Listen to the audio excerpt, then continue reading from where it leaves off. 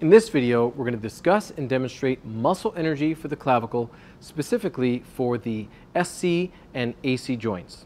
As I'm going through this demonstration, I'm going to be touching a few different areas along your collarbone, uh, at the top of your chest, in front of your neck, and also out by your shoulder, and then also on your arm. If you're uncomfortable or you feel any tenderness, please let me know. If you need me to stop or change what I'm doing, let me know. I, I could stop at any time. Right. Is it okay if I begin? Yes. All right. So beginning with the SC joint, I can start by making contact with the clavicle, moving medial, finding where the clavicle drops off and find the sternoclavicular joint. Then I'm going to replace it with my other hand. I'm going to stand behind and to the side of my patient, very similar to the somatic dysfunction uh, diagnosis process. I'm going to bring the patient's arm out to 90 degrees of abduction and 90 degrees of elbow flexion. And I'm going to be utilizing external and internal rotation of the patient's arm to induce external and internal rotation at the clavicle. So we're going to treat the SC joint as if it had an external rotation dysfunction. So a right uh, SC joint external rotation dysfunction. So for uh, muscle energy, which is a direct technique, we want to, want to position into the restricted barrier, which in this case is going to be internal rotation. So I'm going to bring the arm into internal rotation while monitoring at the SC joint. And once I reach the very end of that range of motion and I feel tension at the joint, I'm going to want to use my hand to brace against the posterior aspect of the forearm so I can provide isometric resistance. And then I'm going to want my patient to externally rotate their arm while I provide isometric resistance. And we can tell them to either lift their arm against us or we can also show them that motion to make it a little bit easier. Can you go ahead and lift your arm against my hand here?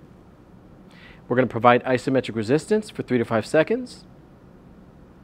Then we're going to ask them to relax. Go ahead and relax. As they relax, we're also going to relax. We're going to pause. We're going to feel a little bit of a creep as the uh, joint moves into further internal rotation. We're going to follow that till we meet the new restricted barrier. Then we're going to have our patient uh, push up again. So go ahead and push up against me. We're going to provide isometric resistance for three to five seconds and then relax. And then again, we're going to pause and then follow as it moves into further internal rotation. Go ahead and lift again.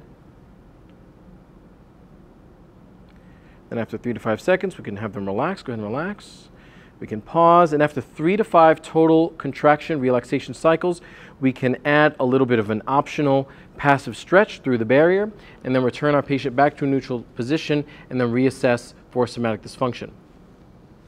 Moving on to the AC joint, we're going to find the AC joint by following the clavicle lateral, and then we can use the spine of the scapula, find the acromion, and then find the junction between the clavicle and the acromion. We're going to switch hands. Again, put our foot on the table, bring the patient's shoulder to 90 and the elbow to 90. Then we're going to again use internal external rotation to induce motion at the joint while we're monitoring at the AC joint. So now we're going to treat the AC joint as if it was an internal rotation dysfunction. So in this case, our barrier is going to be an external rotation. We're going to be moving the arm into external rotation as we're monitoring the AC joint. We're going to feel where the end of that range of motion occurs. We're also going to feel uh, the tension build at the joint. Once we're at that restricted barrier, we're going to make sure that our hand is in a good place to provide isometric resistance to the forearm. And then we're going to have our patient internally rotate their arm against us. We can also demonstrate for them so that it makes it a little bit easier uh, to describe. Can you push your hand forward against me? And we're going to provide isometric resistance for three to five seconds and then we can have them relax. Go ahead and relax. And then we're going to pause.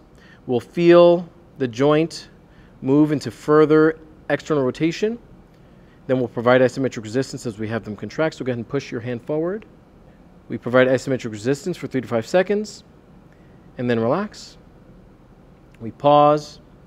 We follow to a little bit further external rotation. And then after a total of three to five times, we can add an optional passive stretch into external rotation through the restricted barrier. Then we can return our patient back to a neutral position, either at their side or back in this somatic dysfunction evaluation position to then reassess for somatic dysfunction.